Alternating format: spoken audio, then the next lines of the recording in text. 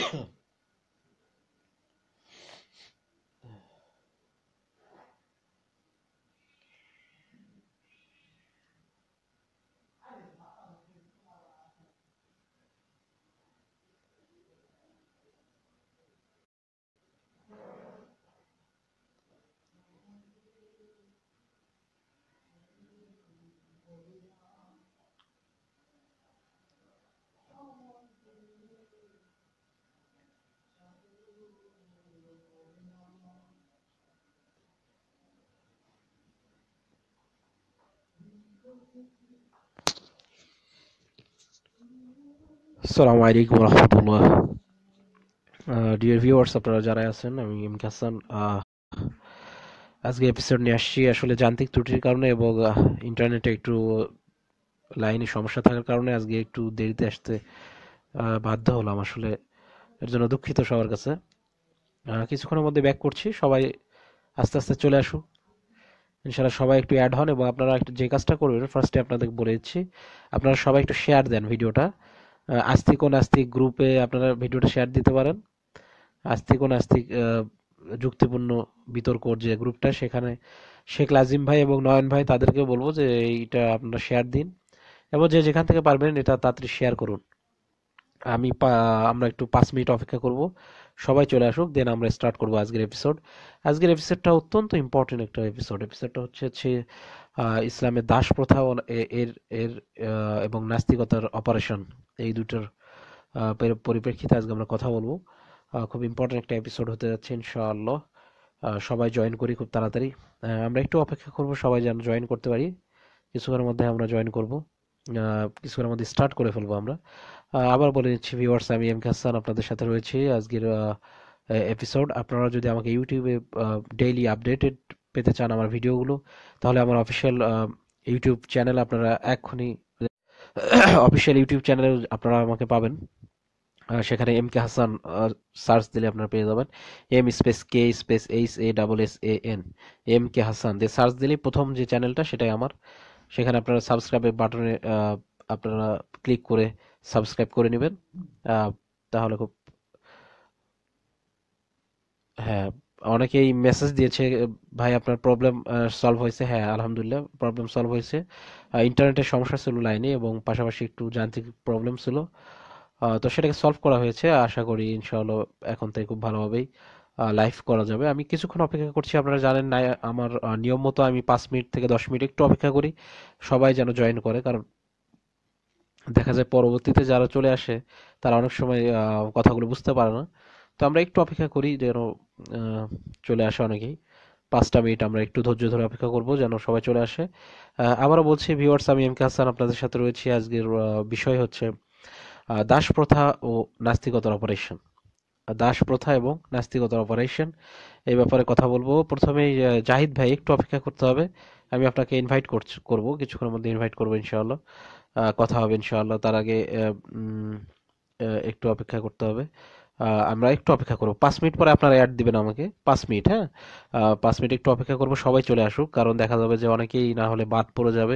আর বিশেষত আজকে একটা কথাই বলব। বাংলাদেশের ইতিহাসে this is the first time in the history of Bangladesh যেখানে ফেসবুক লাইভ স্পেশালে আমি গোটা বিশ্বের সমস্ত নাস্তিক থেকে শুরু করে যারা মুক্তমনা এবং যারাই রয়েছেন তাদেরকে আমি ওপেনলি ডিবেট আলোচনা ডিসকাশন যেটাই বলেন করার জন্য তাদেরকে আমি দাওয়াত দিচ্ছি এবং আহ্বান জানাচ্ছি তারা আমার সঙ্গে অ্যাড করুন এবং মুক্ত মনে কথা বলুন এটাই চাই আমি। অনেকের অনেক প্রশ্ন থাকে। আমরা আশা করি আজকের এপিসোড থেকে বাংলাদেশের ইতিহাসে আজকে ফার্স্ট টাইম দাস প্রথা নিয়ে অনেক ডিটেলস কথা হবে এবং এটি নিয়ে আমরা প্রায় দেখি যে অনেক বেশি কথা হয়। মনে করা হয় যে মুসলিমদের এই ব্যাপারে অনেক সেন্সিটিভিটি আসলে কিছুই না। আজকে জিনিসটা খোলাসা করব। আবারও বলে রাখছি ভিউয়ার্স আমি এম হাসান আপনাদের সাথে রয়েছে। আজকে স্পেশাল এপিসোডে আজকে এপিসোডটা হচ্ছে ইসলামের দাস প্রথা ও নাস্তিকতার অপারেশন এটা নিয়ে কথা বলতে যে আরেকটা কথা বলতেই হচ্ছে, সেখানে আপনারা আমাকে ইউটিউবে খুঁজে পাবেন এম কে হাসান টাইপ করলে আপনারা পেয়ে যাবেন, আমার অফিসিয়াল চ্যানেল রয়েছে প্রতি আপডেট পাওয়ার জন্য, সেখানে আপনারা আমাকে সাবস্ক্রাইব করে নেবেন। আমরা আর দুই, তিন মিনিট অপেক্ষা করব, তারপর আমরা স্টার্ট করব। দুই মিনিট পর আমি আবার জয়েন করছি একটু অপেক্ষা করতে হবে।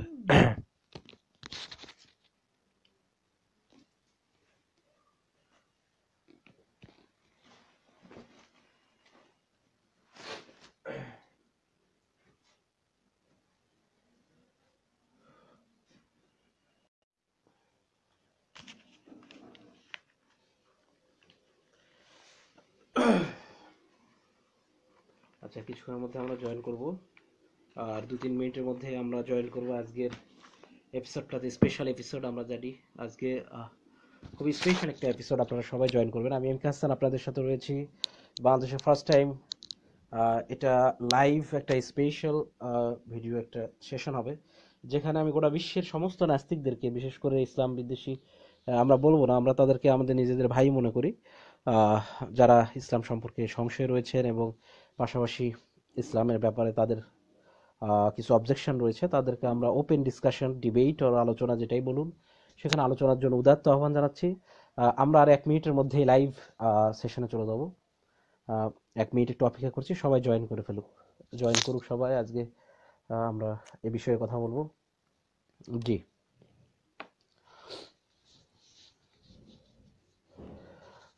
এক মিনিটের মধ্যে আমরা জয়েন করছি। সবাই একটু জয়েন করুন এবং বেশি বেশি শেয়ার করুন। ভিডিওটা আসলে অনেকেরই জানার দরকার। দাস প্রথা নিয়ে আসলে অনেক প্রশ্ন, অনেক সেন্সিটিভিটি অনেক বড় বড় স্কলাররা এই ব্যাপারে কথা বলার আগে অনেক বেশি সাবধানতা অবলম্বন করেন। তো যাই হোক, আজকে আমরা যে বিষয়ে কথা বলব সেটি হচ্ছে ইসলামের দাস প্রথা ও নাস্তিকতার অপারেশন এ বিষয়ে আবারও বলছি, আমি এম কে হাসান আপনাদের সাথে রয়েছি। আমাকে ইউটিউবে আপনারা ভিডিও আপডেটেড পাবেন। আমার official channel M K Hasan সেখানে আপনারা সাবস্ক্রাইব করে নিতে পারেন। আর ফেসবুকে লাইভ স্পেশালও তো রয়েছি। আস্তিক ও নাস্তিক আমাদের যে যুক্তিপূর্ণ যে বিতর্ক সে সেই পেজে এটাকে শেয়ার করুন। পাশাপাশি সবাই জয়েন করুন। এখন আমরা জয়েন করব, ইনশাআল্লাহ।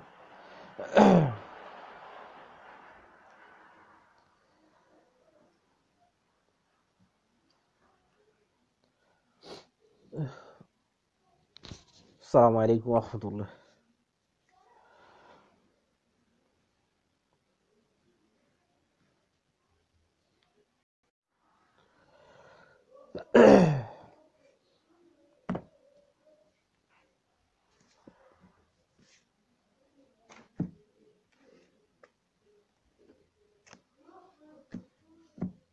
জি, আমরা কিছুক্ষণের মধ্যেই স্টার্ট করব আজকে সেশন আজকে আবারও বলছি, আজকে সাবজেক্ট হচ্ছে যে বিষয়ে আমরা কথা বলব সেটা হচ্ছে ইসলামে দাস প্রথা এবং নাস্তিকতার অপারেশন এ বিষয়ে আমি আছি এম কে হাসান আপনাদের সাথে। আমরা দুইটা একটা মিনিট একটু অপেক্ষা করে নেব, কারণ অনেকেই এখনও একটু বাইরে আছে, তারা অ্যাটেন্ড করতে পারেনি। তো তারা মধ্যেখান থেকে আবার অ্যাটেন্ড করলে তারা অনেকে বুঝতে পারবে না এই জন্য আমরা একটু অপেক্ষা করছি, একটা মিনিট এবং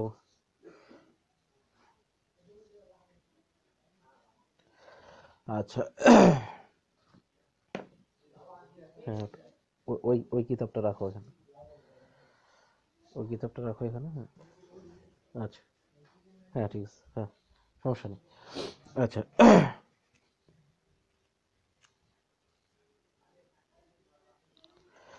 نحمده ونستعينه ونستغفره ونعوذ بالله من شرور أنفسنا ومن سيئات أعمالنا من يهده الله فلا مضل له ومن يضلله فلا هادي له ونشهد أن لا إله إلا الله وحده لا شريك له ونشهد أن محمدا عبده ورسوله أما بعد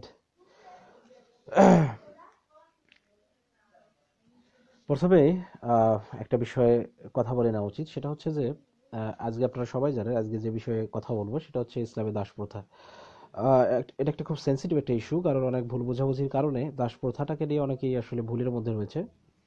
তো আজকে আমরা সবাই মিলে ডিসকাস করার চেষ্টা করব যে ইসলামে দাস প্রথা নিয়ে কিছু কথা বলার জন্য। তো প্রথমে আমাদের দেখতে হবে যে আসলে দাস প্রথার যে ব্যাপারটা, এ বিষয়ে আমাদের সাধারণ মুসলিম বা সংশয়ে যারা রয়েছেন তাদের তাদের আসলে মতামত কি? আচ্ছা এখানে ফার্স্টে আমি শুরু করব। জাহিদ হোসেন, জাহিদ ভাইকে আমাকে অ্যাড দিতে বলব। জাহিদ হোসেন ভাইকে আমি বলছি আপনি আমাকে অ্যাড দেন। জাহিদ হোসেন ভাইকে আমি বলছি আপনি আপনি লাইভে আসতে পারেন। আপনি লাইভে আসতে পারেন। জাহিদ হোসেন ভাই, জাহিদ হোসেন ভাই হ্যাঁ আমি আপনাকে অ্যাড দিচ্ছি। হ্যাঁ আমি আপনাকে লাইভে আসুন। জাহিদ হোসেন ভাই। জাহিদ হোসেন ভাই, আপনি লাইভে আসতে পারেন। আপনাকে আমি অ্যাড দিয়েছি। জাহিদ হোসেন ভাই, আপনাকে অ্যাড দিয়েছি। হ্যাঁ হাসান ভাই কেমন আছেন? জি আসসালামু আলাইকুম রাহমাতুল্লাহ। জি আসসালামু আলাইকুম রাহমাতুল্লাহ। ওয়ালাইকুম আসসালাম। আপনার সাথে লাইভ আজকে আগে হোয়াটসঅ্যাপে হয়তো দুই একবার করছেন জি জি। জি আলহামদুলিল্লাহ ভাই হ্যাঁ। জি প্রায় কথা হয় আপনার সাথে? জি প্রায় কথা হয় আপনার সাথে। জি লাইভে কোনো সমস্যা এভাবে কথা হয় নাই। ভিডিওতে জি।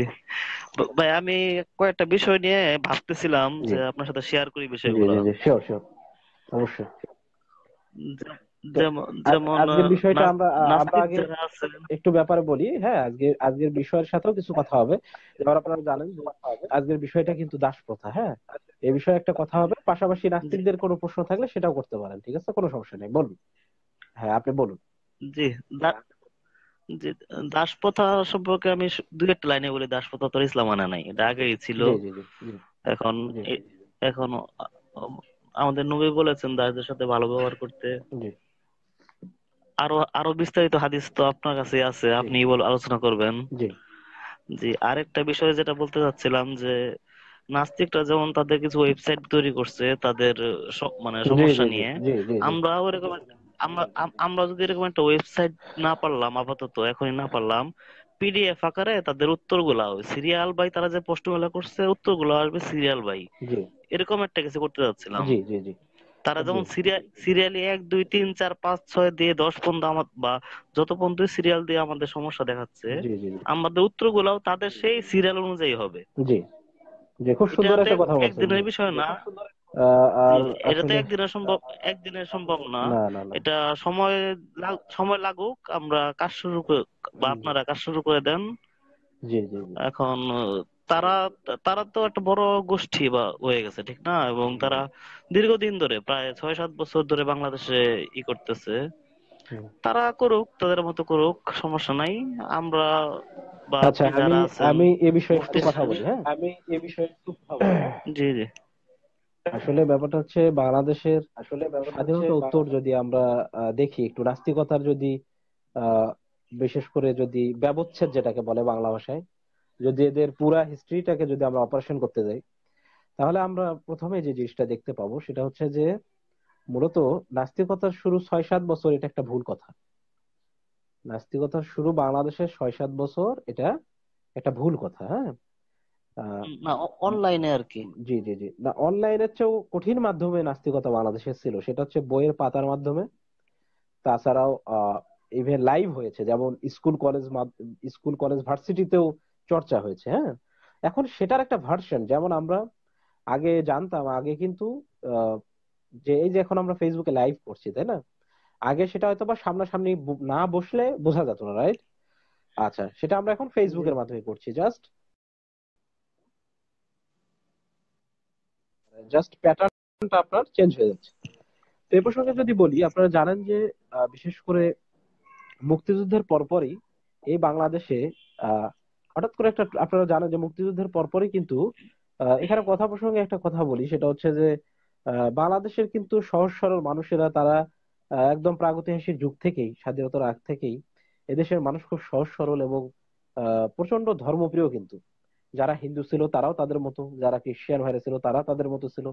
আমরা মুসলিমরাও আমাদের মতো প্রচণ্ড সাম্প্রদায়িক ভাবে একদম একটা বলা চলে একটা খুব কম্বাইন একটা নেশন ছিলাম আমরা। এর সবচেয়ে বড় প্রমাণ হচ্ছে একাত্তর সালের যুদ্ধ। আমি খুব গর্বিত যে আমার বাবা সেই মুক্তিযোদ্ধার একজন সন্তান হিসাবে আমি খুব গর্বিত। আমার বাবা সেই যুদ্ধে একজন অন্যতম কমান্ডার ছিলেন। তো আজকাল ইসলাম নিয়ে কথা বলতে গেলে অনেক সময় বলে ফেলে যে আহ, হয়তোবা আপনাদের বংশে কেউ রাজাকার টাজাকার ছিল কিনা। তো অথচ হ্যাঁ যাই হোক সেই বিষয়ে আর না বলি যেটা বলতেছিলাম।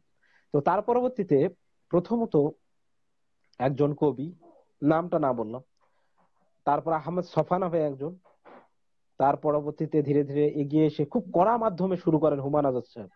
আপনি নাম শুনেছেন নিশ্চয় ঢাকা ভার্সিটির একজন। অধ্যাপক হুমায়ুন আজাদ সাহেব। আমি তাকে সম্মান করি। আমি তার জ্ঞানের জন্য তাকে সম্মান করি।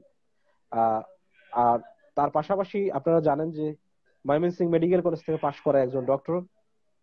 পরবর্তীতে আমরা সবাই চিনি রুদ্র মোহাম্মদ শহীদুল্লাহ, যাকে বাংলা ভাষার বিশেষ করে সমসাময়িক কালের যে সাহিত্য ঘরানা যেটাকে বলা হয়, সেখানে একজন কিন্তু প্রাণ পুরুষ বলা হয় এবং খুব আধুনিকতার ছোঁয়ায় কিছু কবিতা তিনি ওখানে লিখতে পেরেছিলেন। সেই রুদ্র মোহাম্মদ শহীদুল্লাহর সঙ্গে বিয়ে হয় তাসলিমা নাসরিন নামে একজন। উনি কিন্তু একজন মেডিকেল ডক্টর। উনি একজন মেডিকেল ডক্টর। তার ব্যক্তিগত জীবনের কিছু টানা পড়েন এবং কিছু বৈষম্য প্লাস কিছু কিছু অত্যাচার নিপীড়নের কাছ থেকে তিনি পুরুষ শাসিত এই সমাজকে উপর কথা বলতে গিয়ে ধীরে ধীরে মনে করতে লাগলেন যে ইসলামও সম্ভবত এই এই গাইডগুলো দিচ্ছে। যার ফলে তিনি ইসলামকেও তিনি টেনে এনে তার প্রথম বইগুলোর মধ্যে যদি আপনি দেখেন, বেশ কিছু বই তিনি লিখলেন। আচ্ছা তার পরবর্তীতে যদি আমরা দেখতে যাই, ধীরে ধীরে ভার্সিটির মধ্যে অনেক প্রফেসর অনেকেই তারা নিজেদেরকে মুক্তমনা দাবি করতে শুরু করলেন এবং বাংলাদেশে নাস্তিকতাকে ছড়িয়ে দিতে শুরু করলেন। ঠিক আছে, এটা সমস্যাটা নাস্তিকতার যে সবচেয়ে বড় প্রবলেম তারা যারা মুক্তমনা দাবি করে নিজেদেরকে। পরবর্তীতে আমরা রিসেন্টলি জানতে পারি যে মুফাসিল ইসলাম, তারপর তার ছত্রছায় আসাদ নূর, পরবর্তীতে আসিফ মহিউদ্দিন, তিনিও অনেক আগে থেকে ব্লগার ছিলেন। ওয়াশিকুর বাবু থেকে শুরু করে অভিজিৎ দা এরা যাদেরকে হত্যা করা হয়েছে। ও এখানে আমি একটি কথা বলে রাখা ভালো। সবার জন্য একটা কথা বলে রাখা ভালো। দেখুন হিন্দু হোক খ্রিস্টিয়ান হোক কিন্তু বুদ্ধিস্ট হোক কেউ যদি কোনো আবার বলে রাখতেছে কেউ যদি কোনো সরল মনা যিনি পিসফুল মানুষ যিনি পিসফুল মানুষ তিনি যে কোন ধর্মের হয়ে থাকে বুঝতে পারছেন বুঝতে একটু থামাই আপনাকে একটু জি জি জি ভাইয়া একটা বিষয় অ্যাড করে রাখি আপনাদেরকে। ওনারা বলে যে ধর্মীয় ধর্মীয় অনুভূতিতে আঘাত দেওয়া যাবে কি যাবে না। ওনারা একটা যুক্তি দেয় যে বাচ্চাদের যখন টিকা দেওয়া হয় তখন কিন্তু সাথে বাবা থাকে। বাবাটা দেখতেছে সন্তানটা কষ্ট পাচ্ছে তবুও তার ভালোর জন্য আমরা টিকাটা দেই। বাবা কিন্তু প্রতিবাদ করে না। কারণ জানে যদি সাময়িক ভাবে ব্যথা পাচ্ছে কিন্তু ভবিষ্যতে ভালো হবে। এই যে কথাটা বলতেছে যুক্তিটা কিন্তু একদিক দিয়ে ঠিক আছে কিন্তু এটার পাল্টা একটা যুক্তি আমি দিব। আপনি একজন ডাক্তারের কথা বলতেছিলেন ময়মনসিংহ মেডিকেল কলেজের। আমি রাজশাহী মেডিকেল কলেজের একজন ডাক্তারের উদাহরণ দিব যে পিনাকি ভট্টাচার্য। ওনার ফেসবুক ওনার ফেসবুক আইডি আইডিতে আপনি যদি স্ক্রল করে যান এটা কিন্তু সম্ভবত জাতিসংঘ থেকে একটা নীতিমালাই আছে এবং পিডিএফ আকারে লিঙ্ক সহ আছে। উনি এক দেড় মাস আগে লিঙ্কটা দিয়েছিলেন যে ধর্মীয় অনুভূতিতে আঘাত দিলে এটা মামলা করা যায়। এটা জাতিসংঘ থেকে সম্ভবত নাকি কোথা থেকে জানি। ভালো একটা রেফারেন্স দিয়েছেন পিডিএফ এবং লিঙ্ক সহ হ্যাঁ, হ্যাঁ। প্রায় এক দেড় মাস আগে দিয়েছেন আমি আপনাকে বলি আমি আপনাকে বলি আপনি জানেন যে আমি কিন্তু দেশের বাইরে পড়াশোনা করছি ব্রিটিশ এলবি অনার্স করেছি লন্ডন ইউনিভার্সিটি আন্ডারে এবং আপনি আপনাকে এই ব্যাপারে আমি পরিমাণ যেমন মুফাসসির ইসলাম সাহেব আমি আবারও বলছি এখানে রিসেন্ট একজন ভদ্রলোক মুফাসসির ইসলাম সাহেব, উনি ল জানেন হয়তো বা জানেন, কিন্তু সেটার যে রিভার্স সাইডটাকে উনি বিকৃত ভাবে তুলে ধরেন। যেমন, আপনার ফ্রিডম অফ এক্সপ্রেশন অবশ্যই ডেফিনেটলি আছে। ফ্রিডম অফ স্পিচ যাকে বলে, অবশ্যই আছে। কিন্তু রাইট টু মানে ডিফেম সামওয়ান এই অধিকার কিন্তু কেউ কাউকে দেয় না। ইভেন আপনি যদি ইউএস এর মতো জায়গাতেও আপনি যদি ডিফেমেশন করেন, সেটার কিন্তু খুব বড় ধরনের কেস করা যায়। এবং সেই ডিফেমেশনে এমন অবস্থা হয়ে যায় যে আপনাকে one one ten million twenty million পর্যন্ত আপনাকে ক্ষতিপূরণ সহ জেলও হতে পারে। মানে এই এই পজিশনগুলো আছে। মানে আমি যেটা বলতে চাচ্ছি, আপনার ফ্রিডম অফ স্পিচ যেন আরেকজনকে আঘাতগ্রস্ত না করে। আপনি ফ্রিডম অফ স্পিচ করেন, কিন্তু সেটা রাইট টু আপনার ডিফেম সামন যে আপনি কাউকে ছোট করার উদ্দেশ্যে, কাউকে অবমাননা করার উদ্দেশ্যে। যেমন আমরা যে কথাটা আপনাদের বলে থাকি, যে আপনি কিন্তু যদি ইসলাম সম্পর্কে কথা বলতে যান, তাহলে আপনাকে একটা নীতিমালার মধ্যে আসতে হবে।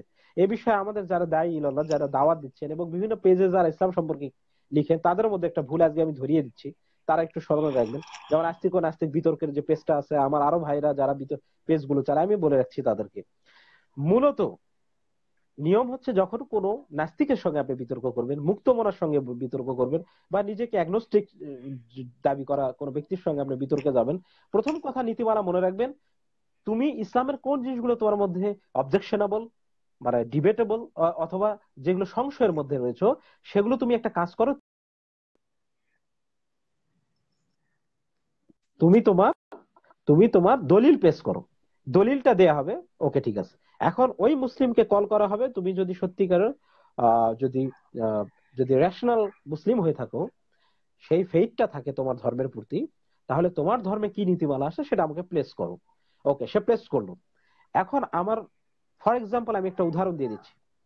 যেমন, আল্লাহ রসুল বুখারিতে একটা হাদিস আসে। হাদিসে বলা আছে, আনাস বলছেন এটা ওয়াহেদ পর্যায়ে একটা হাদিস, উনি একক ভাবে হাদিসটা ইয়ে করছেন। পরবর্তীতে মায়েশার আরেকটা হাদিস পাওয়া যায়, সেটা বিদায় হজের ঠিক আগের মুহূর্তের আরেকটি হয়। সেখানে তিনি বলছেন যে, আমি আল্লাহ রসুল সম্পর্কে দেখেছি, তিনি মানে পর্যায়ক্রমে মানে একই রাতে সমস্ত বিবির সঙ্গে বা ওয়াইফের সঙ্গে তিনি মানে সহবাস করছেন। এরকম একটা হাদিস কিন্তু পাওয়া যায়। আচ্ছা করেছেন। এটা হানাফি মাযহাব গ্রহণ করে না। জি না না না মাযহাব বলে আমরা কথা বলছি না আমরা হাদিস টু হাদিস মারবো ঠিক আছে? কোনো মাযহাবে যেতে হবে না। আমি যেটা বলছি হাদিস টু হাদিস আসি। এখন আনাসের না হানাফি মাযহাব না তোমার বলে রাখলাম। জি জি জি। না আমি এটা জানি আমি এটা জানি আমি ওই ব্যাখ্যায় যাব না। আমি যেটা বলতে চাই আপনি জানেন আমিও জানি। আপনি জানেন এটা আমিও জানি। জি জি হানাফি হানাফি যে মাযহাবের যে মতটা সেটা আমরা পরে বলছি সেটাও বলছি। প্রথমে বলে রাখি, এই আনাসি কিন্তু আরেক জায়গায় আরেকটা কথা বলছেন। কিন্তু সেটাকে তারা কোট করেন না। সেখানে তিনি বলছেন যে আল্লাহকে তিরিশ জনের পুরুষের গায়ের শক্তি সমানে শক্তি প্রদান করা হয়েছিল। আচ্ছা এইটাকে নিয়ে আপনি নাস্তিকদের মধ্যে দেখবেন, তারা এই হাদিসটাকে নিয়ে শুরু করে কি? তারা থার্টি হর্স পাওয়ারের কথা বলে। রাইট আমি কি মিথ্যা বলছি? আচ্ছা। তারা সেক্সুয়ালি অ্যাবিউজিং কথাবার্তা বলে। আমার কথা হলো, তোমরা ওই হাদিসটা প্লেস করে বলো এই হাদিসটি কি অবমাননাকর নয়? ঠিক কিনা? এতটুকু কথা বলতে পারি আমরা। কিন্তু এটাকে নিয়ে বিভিন্ন বিকৃত নোংরা কথাবার্তা, এটাকে নিয়ে ব্যঙ্গোক্তি করা, এটাকে নিয়ে নোংরা ভাবে ট্রিট করা, এটার মানে কি? কিন্তু এই হাদিসের যে ব্যাখ্যা রয়েছে, এই হাদিসের ব্যাপারে সমস্ত জবহুর মুহাদ্দিস যারা কথাটা বলেন, আল্লাহ রসুলের ক্ষেত্রে কিছু মিসাল ইউজ করা হয়। এই জন্য বলতে হবে, উসুলে হাদিস এবং হাদিসের পরিভাষা বুঝতে হবে। মিসাল হচ্ছে সেই জিনিসটা। যেমন আমরা যদি বলি যে সে হচ্ছে বাঘের বাচ্চা। দশজন মানুষের জন্য সে একাই যথেষ্ট। বলি কিনা আমরা? আমরা বলি কিনা? এটা দিয়ে কি বোঝানো হচ্ছে? মানে ও দশজন লোকের সমান? আরেকটা বিষয় আপনাকে বলে দেই জি। জি। আপনি তো জানেন বিষয়টা তবু দর্শকদের জন্য যদি বলে দিতেন হাদিসের চেইন এবং সনদের বিষয়টা যদি ক্লিয়ার করে দিতেন দর্শকদের সুবিধা হতো। জি। জি কোনটা দর্শকের হয়তো এটা অনেক চেইন বিষয়টা আমরা যে হাদিসগুলো সহি কিনা সনদ পাঠন চেক করি চেইন যেটা জি জি আচ্ছা এই প্রসঙ্গে একটা কথা বলে রাখা ভালো আমার জাহিদ ভাই উনি উনি কিন্তু আমি আমার দর্শক যারা আছে এখানে আমার যারা এখানে ভিউয়ার্স রয়েছে তাদেরকে আজ আমি একটা রিকোয়েস্ট করব। দেখুন ইসলামের কিছু নীতিমালা রয়েছে। ইসলাম কেন অন্যান্য ধর্ম থেকে আলাদা? এবং ইসলামের যে বেজ ভিত্তিটা এত কঠিন কেন? এর একটা সবচেয়ে বড় প্রমাণ আপনাকে আমি দিই, দেব হচ্ছে কোরআন দিয়ে। আজকে সবাই একটু খুব ইম্পর্টেন্ট এই কথাটাকে মনে রাখবেন। দেখুন, বিশ্বের সমস্ত স্ক্রিপচার দ্যাট মিনস ধর্মীয় যে বইগুলো, এগুলোর সংকলনের ইতিহাসগুলো যদি আপনারা পড়েন, আপনারা প্রত্যেকটা বইয়ের, প্রত্যেকটা ধর্মীয় কিতাবের একটা জিনিস দেখবেন, তারা শুধুমাত্র রিটেন দ্যাট মিনস লিখিত ভাবে তাদের কিতাবগুলোকে সংরক্ষিত করেছে। Written the only one way they have done their work সেটা হচ্ছে তারা রিটেন ওয়েতে তাদের কিতাবগুলোকে এই সংরক্ষণ করার চেষ্টা করেছে সেকেন্ডলি একমাত্র কোরআন যেখানে দুইটা ওয়ে ইউজ করা হয়েছে। একটা হচ্ছে একটা হচ্ছে ওরালি ট্রান্সমিটেড দ্যাট মিনস আপনার আগে মুখস্থ করা হয়েছে সেকেন্ডলি সেটা আবার লিখেও রাখা হয়েছে। তো এখন ব্যাপারটা হলো, লিখিত ভাষার একটা জিনিস জানেন, আজ লিখিত জিনিসগুলো কিন্তু প্রিন্ট রিপ্রিন্ট আবার কিছু এডিশন এডিটেড আবার ভুল থাকলে সেটাকে আবার শুদ্ধ করে নেওয়া, আগের জিনিসকে কার্টেল করা, কোনো জিনিস সংশোধনের যদি ধরায় দেয়, সেটাকে আবার মাইনাস করে সেখানে পুশ করা, এরকম ইয়ে আমরা নিজেরা জানি। আচ্ছা। এরই ক্ষেত্রে আপনারা যদি দেখেন, বর্তমানে আমরা যদি কিছুদিন আগে আমি বলেছি, আপনারা যদি বাইবেলে ঢোকেন বাইবেলের সাতাশ রকমের ভার্সন এখন পাওয়া যায়। তার মধ্যে বাইবেলের সবচেয়ে বড় বড় যারা ফাদার তারা এখন ডিমান্ড করছে একমাত্র রেড লেটার বাইবেলটা হচ্ছে সবচেয়ে অথেন্টিক আপনারা দেখবেন রেড লেটার বাইবেল যেখানে নিচে লাল কালির দাগ দেওয়া থাকে, যে এটাই একমাত্র তাদের জেসাস দ্য ক্রাইস্ট যেটাকে বলা হয়, আমাদের কাছে যিনি ঈসা আলাহ সালাম, তার শুধুমাত্র কথায় রেড লেটার বাইবেল আছে। কোথাও তাছাড়া বাইবেল নাই ওসব পলের বানানো কথা। এক শ্রেণি, তাদেরই ফাদার বলে। আচ্ছা আরেক ফাদাররা বলে যে এখানে যে ভার্সনগুলো করা আছে এক একজন ফাদারের তারা, তাদেরকে যদি জিজ্ঞেস করেন যে এই বাইবেলের ভার্সনটা কবে লেখা হয়েছে, তারা বলে আনুমানিক। আনুমানিক ধরা যায় এইরকম সময়ে, এইরকম। আবার কারা সত্যিকারের লিখছে তাদের জীবনে পাওয়া যায় না। পাওয়াই যায় না। আচ্ছা সো এখান থেকে তাদের কিন্তু বেসিসটা আমরা বুঝে নিলাম, এখানে তাদের সমস্যা হয়েছে। আমরা যদি বেদের কাছে যাই বেদ সম্পর্কে আমাদের জানেন যে বেদ এবং গীতা বা এই ধরনের সনাতন ধর্ম যেটাকে আমরা ধরছি, হিন্দু ধর্ম, সেই হিন্দু ধর্মের যদি কিতাবগুলোর যদি আপনি বেসিস বা তলা খুঁজতে যান, সেগুলোরও কিন্তু কবে লেখা হয়েছিল, কারা লিখেছিল, তারা কতটা বিশ্বস্ত ছিল, তারা কোন উদ্দেশ্যে লিখেছিল, কোন অবস্থার পরিপ্রেক্ষিতে লিখেছিল, এগুলো কোনো কিছু আমরা জানতে পারি না যার ফলে এডিশন সুপার এডিশন সেগুলোকে কার্ড পেস্ট কপি এগুলো বিভিন্ন ভাবে চলেছে এবং আপনারা শুনে অবাক হবেন যে এই এই এই সম্পর্কে কথা বলেছেন ত্রিপুরা ইউনিভার্সিটির বিখ্যাত প্রফেসর ডক্টর হরিপ্রসাদ শেঠ এবং একটু থামাবো আপনাকে। একটু থামাই। ভাইয়া একটু থামাই। হিন্দু ধর্মাবলম্বী যারা আছে তাদের প্রতি আমাদের সম্মান আছে ঠিক আছে? তারা তাদের ধর্ম পালন করবে আমাদেরটা আমরা তাদের ধর্মে না যাই আমরা তাদের ধর্ম না যাই তারা ভালো থাকুক সবাই ভালো থাকুক। ধর্মে যাচ্ছি না। না না স্ট্যান্ডার্ডটাকে না না কোনো না আমাদের আমাদের অফেন্সিভ কোনো কথা বলব না জি। আমরা যেটা বলতে চাচ্ছি সেটা হলো কোরআনের যে সংকলনটা সেটা কোন দিক দিয়ে ডিফারেন্ট বা হাদিসের সংকলন সেটা হচ্ছে কোরআনকে যখন একটা আয়াত যখন নাজিল হয়, সেটা একাধারে শত শত সাহাবি একাধারে মুখস্থ করেছেন। সেটার উপর হাফিজুল কোরআন ছিল হিপস করেছেন। পাশাপাশি সেগুলোকে তার তার লিখিত করার জন্য নির্দেশ দেওয়া হয়েছে। এখন বাই চান্স আমি ধরে নিলাম, কারও মানুষ মাত্র ভুল হতেই পারে। একশো জনের মধ্যে বিশ জন ভুলে গেল। এই আশি জন কিন্তু তাদের সিনার মধ্যে মুখস্থ থাকল। এখন যদি কোনো রিটেন ফরমেশন যদি হারিয়েও যায়, সেটা আবার তারা কারেক্টেড করতেছে কীভাবে? কারণ তাদের সিনার মধ্যে মুখস্থটা আছে। এখন মজার জিনিস হলো অনেকে বলে, ভাই, আজ থেকে সাড়ে চোদ্দশো বছর আগের জিনিস ভুলও তো হতে পারে।